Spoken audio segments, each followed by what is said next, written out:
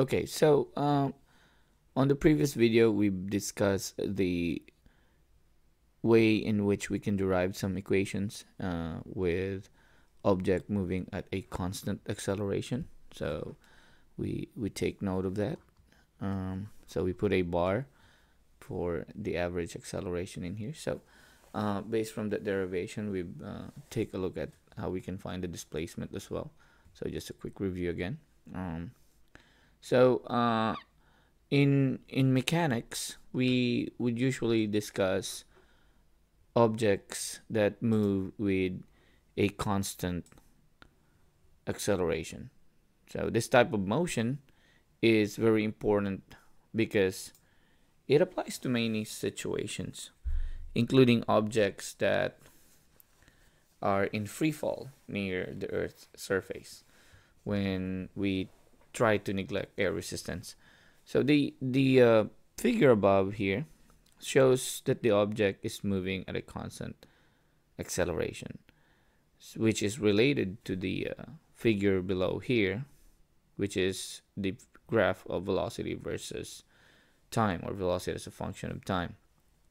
So uh, when the object is moving at a constant acceleration, we know that at an instant, at an any point in the time here, is always going to be the same. So we could say that the instantaneous acceleration at any point is equal to the value of the average acceleration of the entire time interval. So in that case, we can remove the bar on top of the acceleration. Um, um, in, in, in such situation, uh, we would say that the velocity uh, would be increasing or at some point maybe decreasing at the same rate throughout the motion of the velocity versus time graph. Um, in this case, it's going straight up, so it's moving uh, in a positive uh, direction uh, in terms of velocity. So uh, we could look at the equation in here. So this is one of our first kinematic equation for acceleration. So the acceleration is this is equal to the initial to the final velocity minus the the initial velocity or change in in velocity over change in time. So we can uh, simplify that equation in terms of this uh, written equation.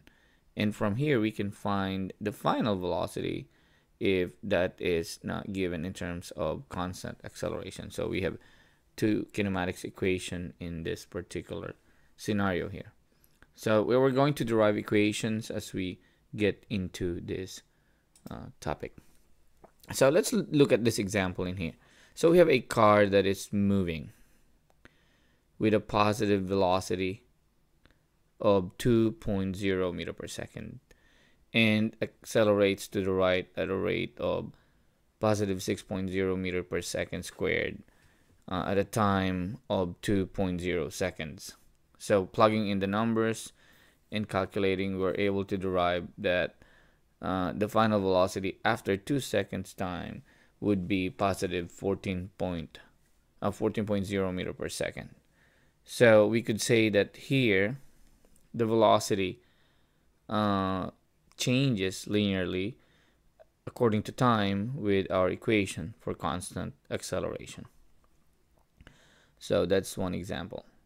So another thing we have to look into is uh, when the velocity is is going up or going down at a uniform rate, we could find the average velocity to be halfway between the initial velocity and the final velocity.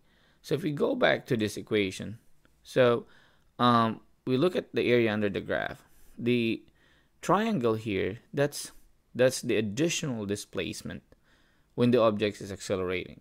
And at this point, the average the average velocity will be halfway uh, between the initial and the final. So we can get this equation as uh, the average velocity is equal to the final the initial velocity plus the final velocity uh, divided by 2. So that's for constant acceleration. So take note, this is only for constant or uniform acceleration. So uh, you might not see the word constant in some books, but you might hear uniform. So it means the same thing.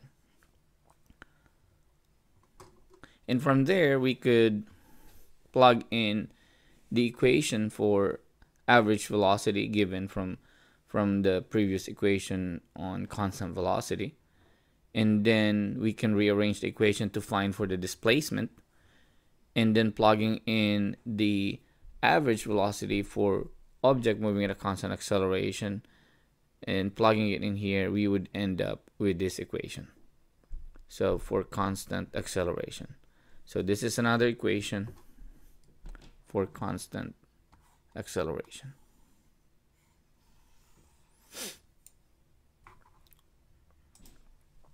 So we can make substitution as we go on and then we will end up with this. And that's the, and this looks familiar.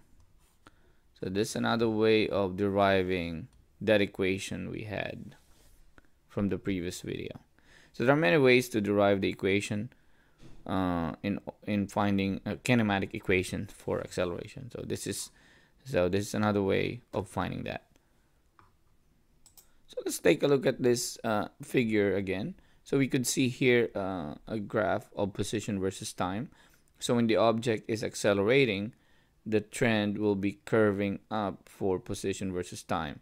And then if we graph that in terms of velocity versus time, it will end up with this. And if we graph that in terms of acceleration versus time, we would end up with a straight line. So this three plot of uh, function against time are all related. So from there we can derive equation. So again we could we will derive this equation in here. So we cancel the initial distance given that the object have started at zero.